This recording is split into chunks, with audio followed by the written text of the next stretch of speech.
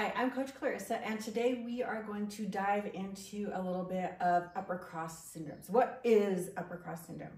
Um, simply put, it's when we have a forward posture with our body, because we have our little skeleton here to show us what a healthy spine is supposed to look like. So we have curvature of the neck that we're supposed to have.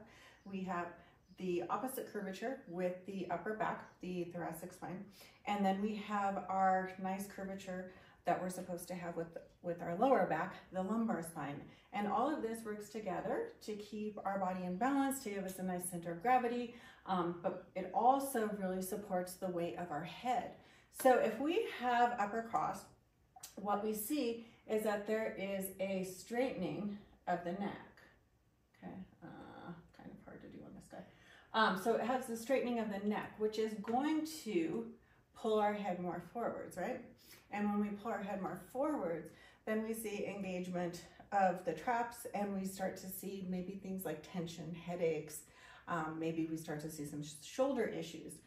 Now, if we were to take the, the straightening the forward of the neck and maybe compound that by the body compensating, then we also see exaggeration of this, this thoracic curve and even a further straightening of the, of the cervical spine, the, the neck.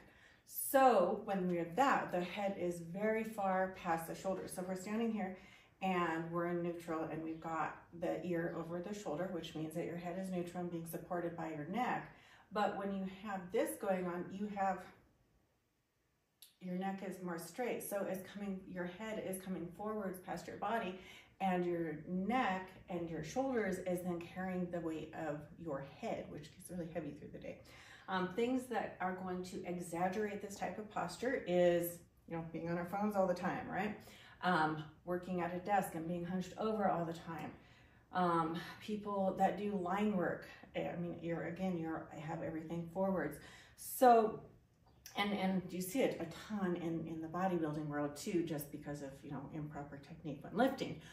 But what we can do is we can start to bring your body back into alignment. So starting to bring that spine back to a more natural, a more natural healthy curve.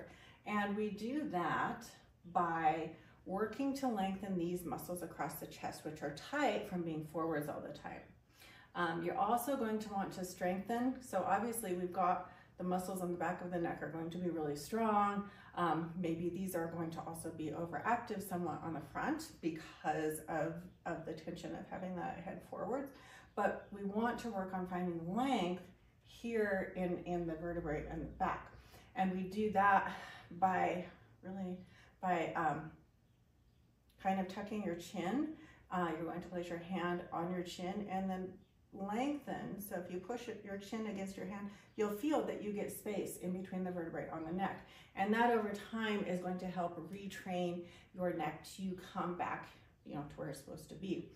Um, as we work to lengthen these muscles across the front, we also want to be working on strengthening these muscles in the back that are going to help hold the, the chest and the shoulders open, hold those shoulders back and down, and help support the weight of your head so that it's not stretched forwards and causing all the issues along the backside and, and the front side of the body. So that, as simply as I could put it, is the upper cross syndrome. Those are some things that may help relieve some of the symptoms you're having. Um, if you think that you might have it, if you're not sure, you can always reach out to us. We're happy to do a posture evaluation with you and help you determine if, you know, that is something that's going on in your body and then what specific exercises would be most beneficial to helping you resolve that and bringing your body back into a better posture.